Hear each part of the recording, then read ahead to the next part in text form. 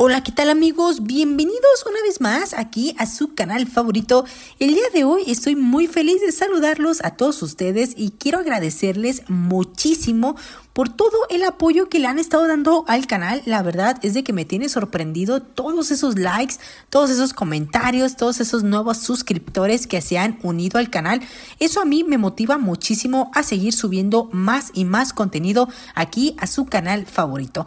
Eh, gracias, gracias, gracias por todo el apoyo y el día de hoy pues la verdad estoy muy feliz porque les quiero compartir un video de TikTok que me encontré hace unos días y yo dije, ¿por qué no compartirles esta tremenda joya que me encontré en TikTok a mis seguidores de YouTube? Es un video que se me hizo bastante gracioso, bastante eh, pues interesante y por eso dije, se los voy a compartir a mis seguidores de mi canal de YouTube. Claro que sí, como de que no. Y pues bueno, los voy a dejar con ese video que me encontré en TikTok. Muchas gracias por ese apoyo, esos likes, esos comentarios. Los dejo con el video. Chao, chao.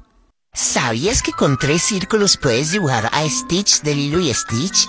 ¿No? Pues yo te enseñaré cómo hacerlo. Primero hacemos los tres círculos así. Ahora y alrededor de estos dibujamos esta especie de óvalo para la cabeza del personaje. Los círculos de los lados serán los ojos, así que alrededor hacemos estos otros dos óvalos para los parches que tienen la cara, rellenando a la vez las pupilas con negro y dejando el círculo del medio como su nariz. Le realizamos su hoja con estos trazos y procedemos a hacer sus orejas en los laterales. Estas características por ir hacia arriba. Hacemos parte de su cuerpo en la parte de y por último coloremos todo para darle vida.